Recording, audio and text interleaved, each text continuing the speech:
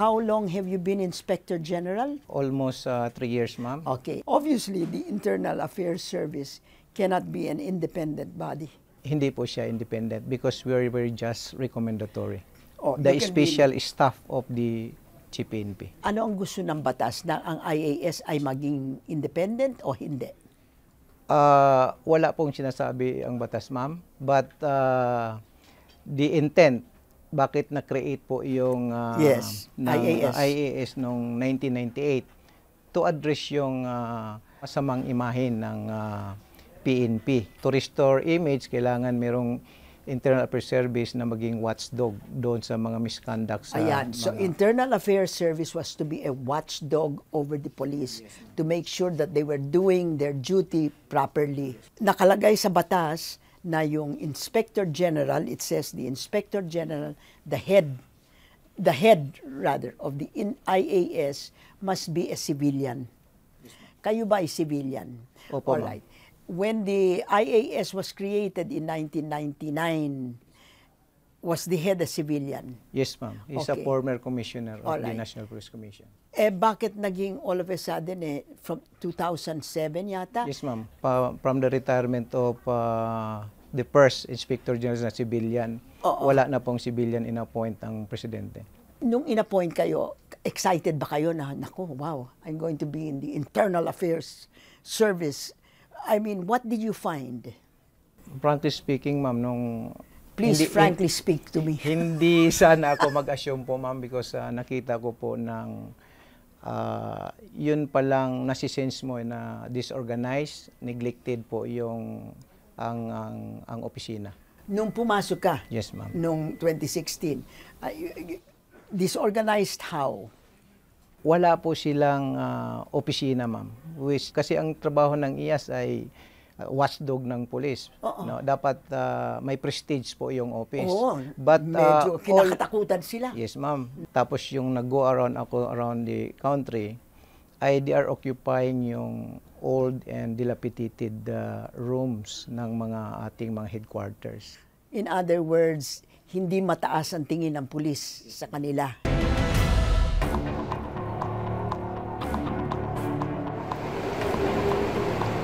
Halos 100 square meters lang ang opisina ng IAS, pero dito nagsisiksikan ang 10 unit nila.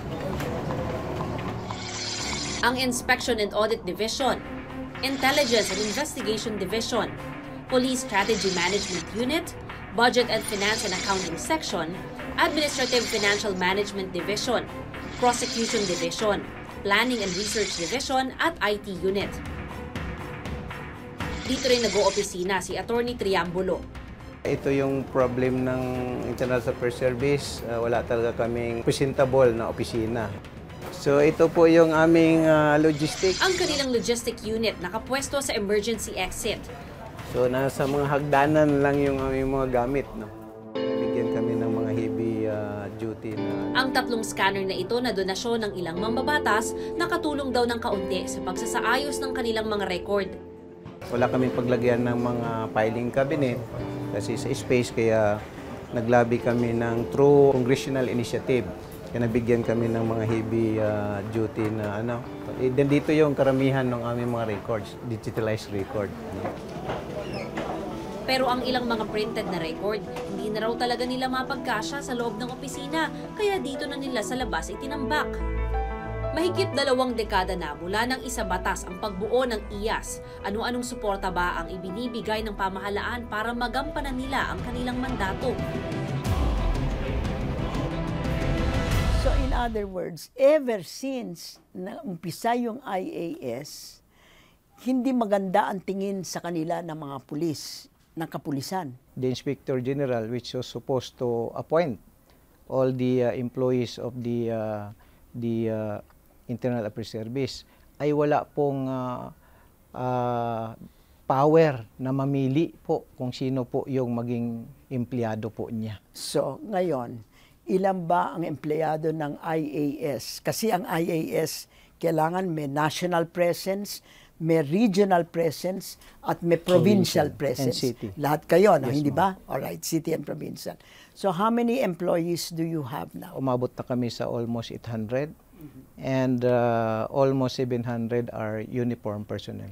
Ang Internal Affairs Service ay nagpe-perform ng highly technical no na trabaho. Siyempre. Quasi judicial and yung managerial dapat yung inspection and audit Oo. ah, sa pag-assist ng performance ng pulis. Ang mga napunta po sa amin ay ah, walang background dito. Eh bakit hindi kayo nag-complain? I mean, you are the Inspector General, hindi ba kayo ang dapat mag-hire ng mga staff ninyo? Only the uh, non-uniform, ma'am. The civilian. In Where- other words, the police can say, oh, this is yours. Yes, ma'am. And in fact, I I'm protested and uh, requesting that they will uh, uh, cancel or revoke their uh, orders transferring uh, certain uniform personnel to the Internal Affairs Service. Hintay muna. But sinabi nila eh, those who are in the police who are transferred to the IAS, subjected to rigid screening, ito yung batas, ha? Uh, where only PNP personnel who have at least five years experience in law enforcement and who have no derogatory service records shall be considered for appointment. There is a process, ma'am, na bago sana makalipat sa isang unit, ay dadaan muna sa aming screening. Ay, dapat- dapat- uh, subject to rigid yes, screening, but oh. i- i- hindi po napalo. Kaya Si- ginagawa lang namin, Sinong ma'am. hindi nag-follow nun?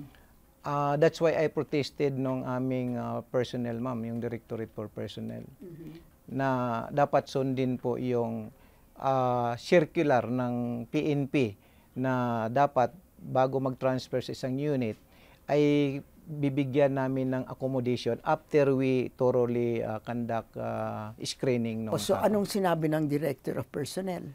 wala namang reaction ma'am sometimes yung binabalik namin ma'am ay ah, ino-honored naman Adi ang ibig sabihin nun, eh, they think of you as nothing.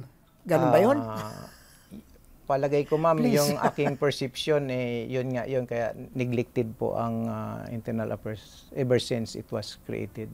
the intention of the law to create something that would be a watchdog and would be, you know, feared because they, you know, you are people who can say that they should be removed, etc. Hindi ganon ang nangyari. Yes ma'am, that's why we are Ever ah, since 2000. Yes ma'am.